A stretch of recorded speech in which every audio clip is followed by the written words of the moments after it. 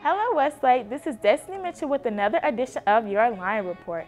We had a phenomenal spirit week with days including Character Day, Mathletes versus Athletes, Senior Citizen Day, and finally Y2K or Show Your School Spirit Day. The homecoming game went excellent. Our Westlake Lions beat the Shiloh team in their varsity football game. We thank you for all the support. There were so many faces.